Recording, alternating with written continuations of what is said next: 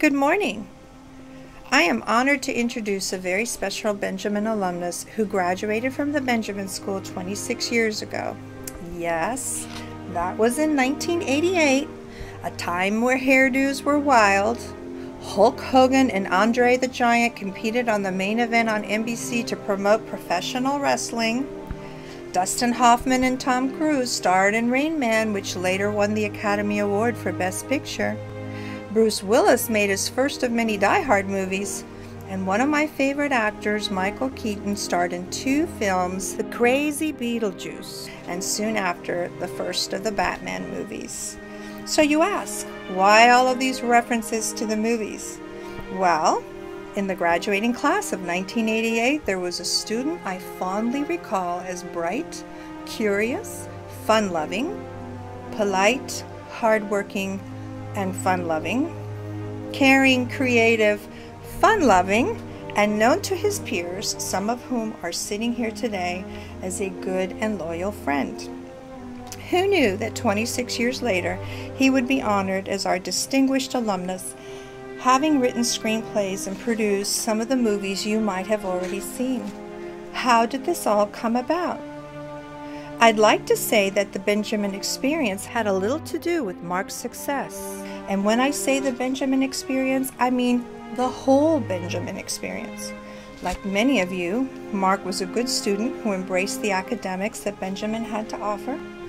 He was a National Honor Society member, a National Art Honor Society member, a Key Club member, a soccer player, but more importantly, what I remember the most about Mark is what he did and how he contributed outside of the classroom.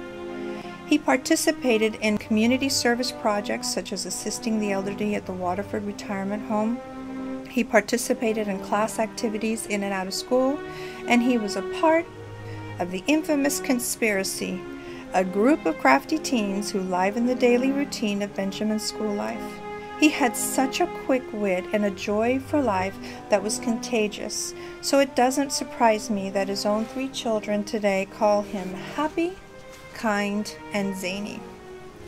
After graduating from Benjamin, Mark went on to study and graduate from Johns Hopkins University with a degree in international relations. He says that the writing intensive curriculum at Benjamin helped him to succeed in college and beyond. The idea of a 25 page college essay or long nights writing screenplays didn't daunt him because Benjamin gave him the tools he needed for such tasks. He also learned critical thinking skills at Benjamin, which he claims have helped him to survive in a difficult industry. After college, Mark moved to Washington, D.C., where he interned on Capitol Hill with plans to attend law school. But before coming to law school, Mark pursued a dream of his. He enrolled in the University of Southern California and took as many film classes as he could. There, he met another young film student, Damian Shannon, and together they began to work and collaborate on film projects that would lead to a long professional partnership that has produced some amazing and popular films. There is no better way to introduce this alumnus than to let you take a look at some of his work. Friends, warn everyone.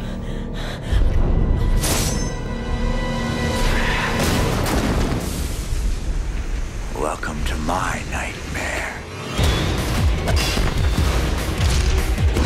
We're not safe awake or asleep. From the studio that brought you Shrek. Son, you're gonna learn how to be a shark. Hi.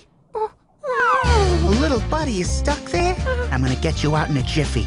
On top there's Don Lino. There's me. There's regular fish. Then there's me. I'm getting there. There's whale poo. And then there's you. What'd you expect? You just take credit for killing a shark and then everything be fine and dandy? Shark Tale. Did you know a young boy drowned here?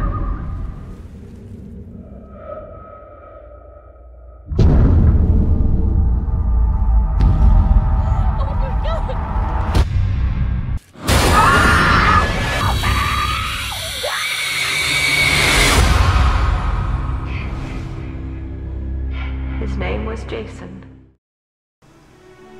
It is my true pleasure to introduce from the class of 1988 our distinguished alumnus, Mark Swift.